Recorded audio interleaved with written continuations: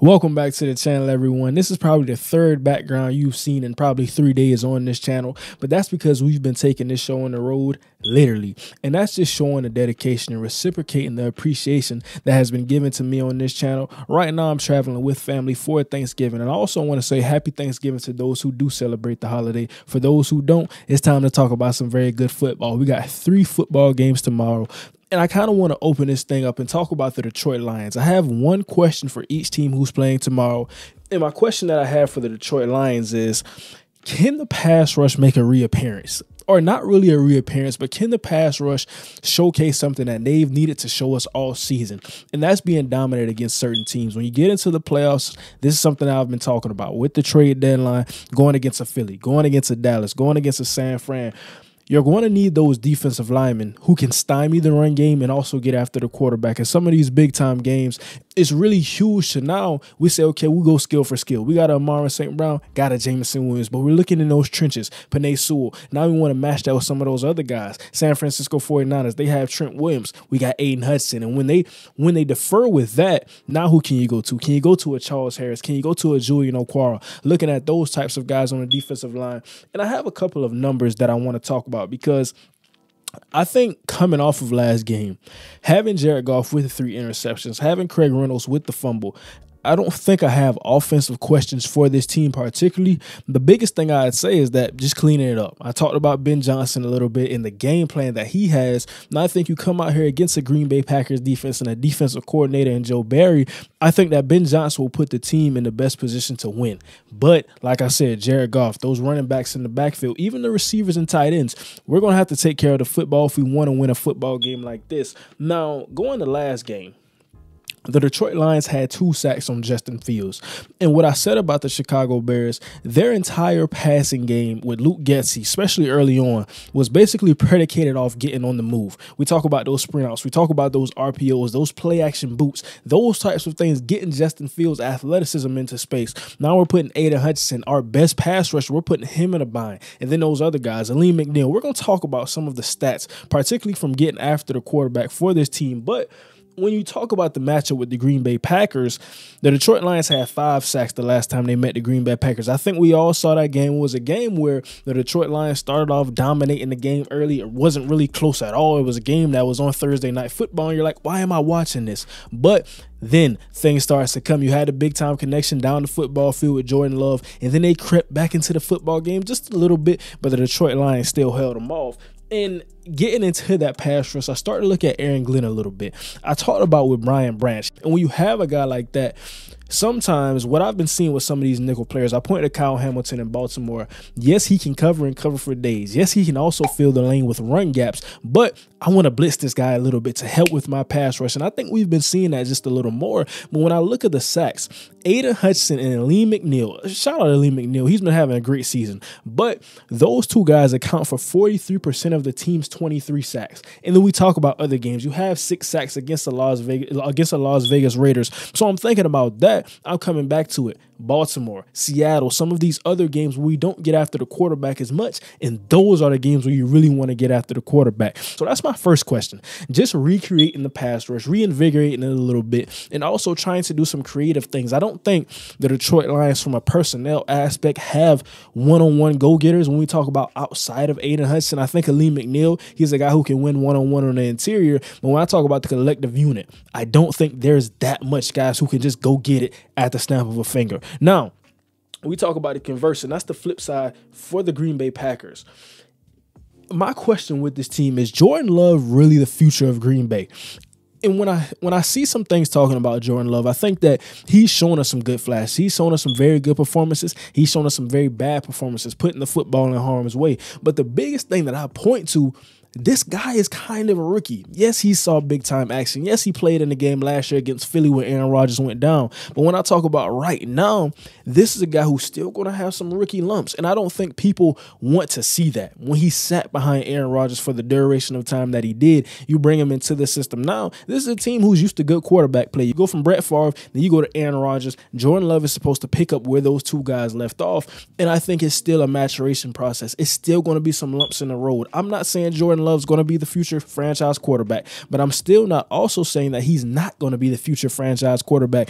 And I think really coming off of last week, he eclipsed 300 yards. Those are some good things that we're seeing from him. And I want to dive a little bit more into the numbers 27 of 40 on a day, had two touchdowns. And we talk about his totality of stats in the season.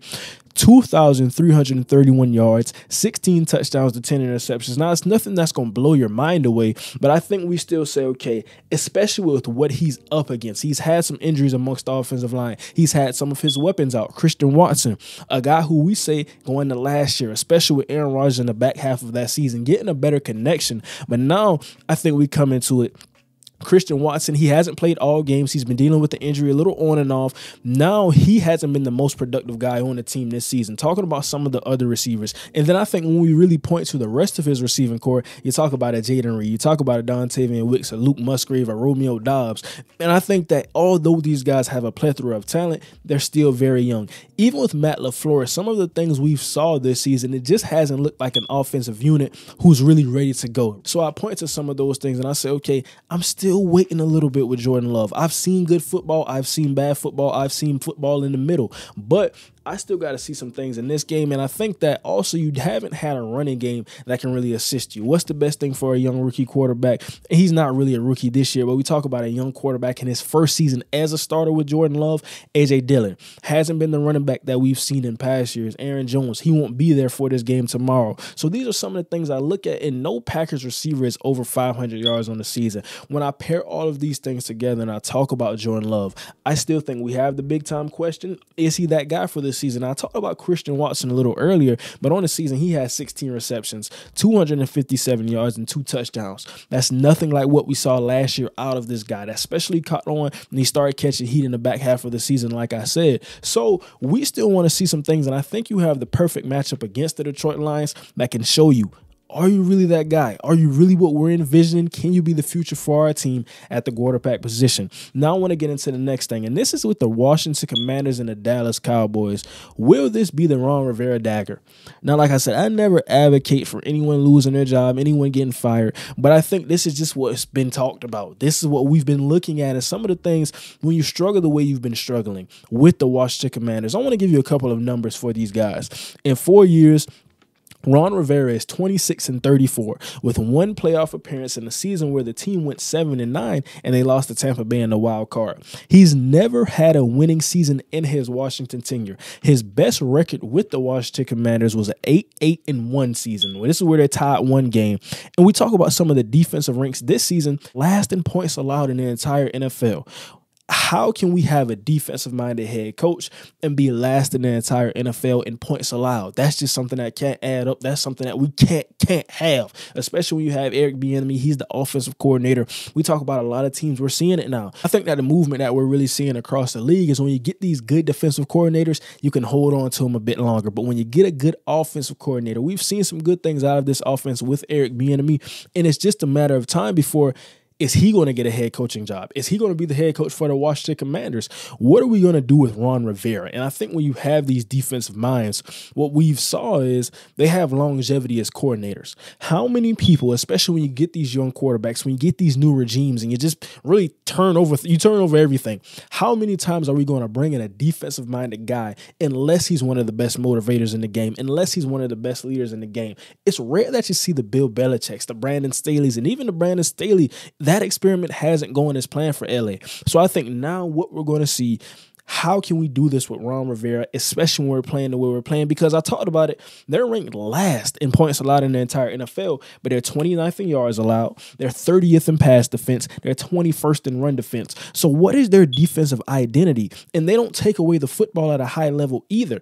And I think you trade away a Chase Young, you trade away a Montez Sweat. Now I'm looking at your top 10 in sacks. That's eventually going to drop off a little bit when you trade two guys like that. So, I think even with Sam Howell leading the NFL currently, and passing yards out of everybody. Even a guy like this in his second year leading the NFL in passing yards, that's something that you really have to give your hats off to. But overall, I think there's still a lot of questions with this football team, and they play the Dallas Cowboys. The Dallas Cowboys, they're known for beating up on teams who are struggling and have some things going on. I talk about Carolina, I talk about the New York Giants, some teams who we've seen struggling. They like to pile on those football teams. So I want to know what you guys think about that one. I think it's a pretty interesting one. How long would the Washington Commanders hold on to Ron Rivera going against the Dallas Cowboys? Now we got to talk about the Dallas Cowboys as well because I think that when I look at this team, there's a couple things I like to point to. But Defensively, I think I like what I saw so far. Offensively, I think that I see Dak Prescott playing better. He realistically can be in the MVP conversation. The way that CeeDee Lamb is playing has more receiving yards than a guy like AJ Brown. Being the guy, the number one, and yes, I've said it, I've had this discussion on many different videos. Although he comes out of the slot for a lot of his work and a lot of his receptions, I still look at him at I still look at him as a guy who you can run the offense through, and that's what I define as a number one receiver. But even with the offense playing like it's playing, even with the defense playing like it's playing, I still have one major question about one of their playmakers, and that's Tony Pollard.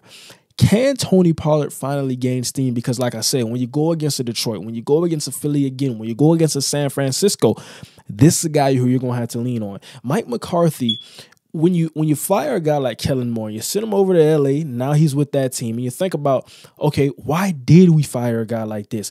And Mike McCarthy talked about a physical brand of football, running the football more, using his defense and catering to what Dan Quinn has on that side of the ball. Now we're gonna run the clock. We're gonna get this time of possession, we're gonna take away the football, and we're just gonna really pound on teams. But we haven't really seen that brand of football out of the Dallas Cowboys. I think we've seen more high scoring it's hard for me to tell the difference of what Kellen Moore's offense looked like to what Mike McCarthy's offense is looking like. And I think that when you have that, what is the point of really firing him? Is it really a scapegoat situation? And when I talk about Tony Pollard, on a season has 147 carries, 590 yards, and three touchdowns. Not terrible stats at all. But I think, like I said, when you go against the NFC's elite, when you get into big time playoff games, how much can we trust Dak Prescott? And this is not a knock on Dak Prescott because he's been playing good this season, but you see it when they go against the San Francisco 49ers. You struggle in a game like that. If you have a Tony Pollard to lean on in a run game, along with a Rico Dowdle as well, but I think it all starts with TP in the backfield, number 20. He hasn't eclipsed over 70 yards since week three. That's something you can't have. Has 70 yards versus the New York Giants, 72 yards versus the New York Jets, and 122 yards versus Arizona. Hasn't gotten close to that mark yet. So I think the biggest thing that I want to point to is him coming off of that leg injury. And we say, okay, this is a guy who's still trying to get healthy. He's still trying to shake back. Now, I've dealt with injuries, especially in the game of football. And it seems as if when you come back, you feel like you're yourself and then you have that wear and tear start to build. Now you say, okay, I felt like myself, but now the way that I'm feeling now, my stamina isn't the same. My wear and tear isn't the same. And probably in those first three games, he felt like himself a little bit. But as the season went on and it went on and it went on, he probably started to, to tear down just a little bit. Now that's hypothetical. I just want to see because they have the offensive line, they have the passing game to complement this. So I want to see getting more efficient in the run game. Currently, they rank 12th in rush offense. They're a top five passing offense. But I think, like I said, the narrative with Tony Pollard is that he's trying to get healthier to really get going in the back half of the season. And I still want to see it. I think this is a prime game against the Washington Commanders, a team who struggles to stop the run. We have to get over 100 yards tomorrow. If you're looking at it from the Dallas Cowboys perspective, I just don't see how you go into a game and you don't try to do that. Now, of course, their secondary is weak as well. But the biggest thing I'll point to and something I want to see is Tony Pollard getting going in the backfield for the Dallas Cowboys. Now, let's get to the final game of the day and that's the 49ers and the Seattle Seahawks. A very interesting matchup. And I think for the San Francisco 49ers, when you lose a Trent Williams, you have a Christian McCaffrey dealing with the injury, you have a Deebo Samuel dealing with the injury. This is no excuse at all, but I think we have to give this for the context of what I'm about to say. The way they struggled in that three game losing streak and the way they uncharacteristically turned over the football, the way they struggled defensively, thinking what I've saw against a Jacksonville, against a Tampa Bay. Right now, as I sit here today and record this video, I don't have major questions or concerns for the San Francisco 49ers. I think the only thing some people will say is Brock Purdy when you go against a Philadelphia. And we're gonna see that in a couple weeks. So this is something we'll be we'll have the pleasure to see when you go against a Dallas in the playoffs, when you go against the Detroit Lions are you capable of being the guy who throws 250 plus, who gets up in the 300 numbers with a George Kittle, with a Brandon Aiyuk, a McCaffrey, a Deebo Samuel? And I think that's one thing we could say, but it's not something that I want to spend too much time on. Really, with concerns or questions for this team, I think two things I pointed out in the video that I dropped two days ago. I talked about penalties and I talked about red zone efficiency. Defensively, they've been playing better, but they have a big time injury, and that's Talanoa Hufanga tearing his ACL. Ji'Ayir Brown, the rookie safety it's going to be huge for him because this is a team that likes to come out in a lot of nickel sets. They rarely run a true base, but they can. Dee Winters, another linebacker out of TCU. We're going to be paying attention to how do you transition and how do you adjust losing a guy like Hufanga because he adds in the run game and he has range as a safety in the passing game. He can be the single high safety. He can be the two high safety. So I think when you lose some of that, now we got to lean on a rookie. Will that really matter and how big will that affect us? We're going to see some of that in this game. But that's really my only question I have for this team. So I want to get over to the Seattle Seahawks because I think I have a bigger question for those guys. And the question for me is how will the Seahawks fare off in such a competitive late schedule stretch of games? I think that when we look at the teams they're going to play, and I want to give you some of these teams. They play the 49ers twice. They play the Philadelphia Eagles. They play the Dallas Cowboys. These are all teams amongst the NFC elite.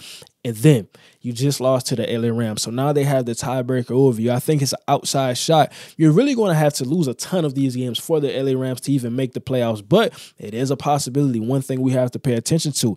And how can they because they have the talent. This is something I've been talking about with the Seattle Seahawks. I did a film breakdown on their offensive unit, and I think it's extremely important when we talk about it. They have a plethora of talent. You look at the offensive unit, you have a Zach Charbonnet. Now, Kenneth Walker will be out for this game. He suffered an injury last game, but you look at a DK Metcalf, you look at a JSN, you look at a Will Dissly, Tyler Lockett, some of the guys, even Geno Smith under the center, honing in the troops. I think you have all of this talent, but you just don't have an identity. And I want to give you a couple of numbers to back these things up because some of the statistics, they're 13th in passing offense, they're 25th in running offense, 19th in rush defense, and 21st in pass defense. So you look at this team and say, what do they lean their hard hats on when they have to go get something? And this is offensively or defensively. What do they do and how do they beat teams with all of this talent? A Bobby Wagner, a Jordyn Brooks, some of these guys on the defensive side of the ball. You look at a Boyd A Tariq Woolen, a Devon Witherspoon, and I think you have all of the talent, but are we do we have to look at some of the coordinators in this situation, or do we have to look at some of the players? Because why can't we put it together as an equal unit? Why can't we be a good team? Now they currently sit at six and four, not a terrible record by any stretch of imagination, but I talk about it when you play some of these good teams, and it just came off of the loss that you had to the Baltimore Ravens. You lost a close nip tuck ball game to the Cincinnati Bengals. And I think this will be another occurrence in a situation. Can you beat this team? This is the team you played in the wild card round of the playoffs last year, and you lost that football game. So I think it's going to be important to see how do they match up with the talent. It's not saying that the San Francisco 49ers, yes, they got an all-star team, but you look at the Seattle Seahawks, they got some guys of their own, and I aforementioned all of those guys. And I think you draft a set, you draft a Zach Charbonnet, you draft running backs in back to back drafts in the second round. Why is our run game not top 10? Now, I think Abraham Lucas, he's questionable. That's your second year tackle who is very good alongside Charles Cross. And that's huge when we talk about the running game and especially the passing game. But even if he doesn't play, I want to see a team assert themselves physically. Be have have an identity when you go out on the football field because last year I saw a team that could run the football. I saw a team that thrived off of play action, and I saw a team that thrived off of deep shots, getting the football down the football field to DK Metcalf, hitting Tyler Lockett on those deep shots. And you add in the JSN, you would think that it would be a little bit easier, but it hasn't gone as planned like that. And even on the defensive side of the ball, I think you're losing Uchenna Nwosu. That's something that you talk about with the physicality. Now you brought in a Leonard Williams, and this was a guy who was supposed to help because you like your skill matchups. And I think I even like the skill matchups for the Seattle Seahawks against the NFC's elite. But you add Leonard Williams, that adds physicality, that adds versatility. When we get in those third downs, he can kick inside. On those first downs, he can be the four to the five tech. So I thought that was the envisionment for a guy like Pete Carroll with that defensive scheme. But it's still early. Trade deadline just passed a couple weeks ago. We still have to see the returns on that trade. But right now we haven't seen it. Like I said, they don't have a they don't have an identity defensively or offensively. So I have to see something like that in this game. And I think the biggest thing that I want to talk about, really outside of the scheme and outside of the players, we talk about coaching and discipline, some of the coordinators. Against the Los Angeles Rams, the Seattle Seahawks had 12 penalties for 130 yards. Something you can never have in the game of football. When you talk about a close game like they had, you lose by one point to the Los Angeles Rams, a game you had no business losing. You started off hard in the football game. Everything was pointing to the Seattle Seahawks winning this game, and they lost it. I don't want to see 12 penalties for 130 yards on the football field against San Francisco tomorrow because you thought you lost by one point against that team. You're going to lose by two touchdowns or more against San Francisco. Now, I'm not saying this from the mindset that they can't beat San Francisco. I think Seattle has all the talent in the world, but when you go against these teams and you beat yourself, it's going to make it hard to overcome all of that. So, like I said, I think this will be a very good football game. It's a division matchup, so we know it'll be a little tighter. And you also have something to play for. Seattle hasn't really had any success when we talk about lately going against the San Francisco 49ers. And I talk about that wild card game. San Francisco put it on them. Brock Purdy, Nick Bosa, all of those guys, Fred Warner defensively. So this is something we're going to have to see. And now this is really wrapping it up. Talking about all these games, like I said, this show is on the road, different background that you've probably seen, probably the third one, like I said, in the past week. But I wanted to get this video out to you guys. I think we have some very good topics, and I also want to know what do you think about these Thanksgiving games. We got three of them, so it's some big time football. If my mom tells me the mac and cheese is done, I'm gonna say I'm recording a video. I'm gonna say I'm talking to my subscribers, my supporters. We gotta have some talks about some good football because we're gonna see it all tomorrow. That's gonna do it for today's video. Don't forget to like, comment, and subscribe. But that's gonna do it for today. And now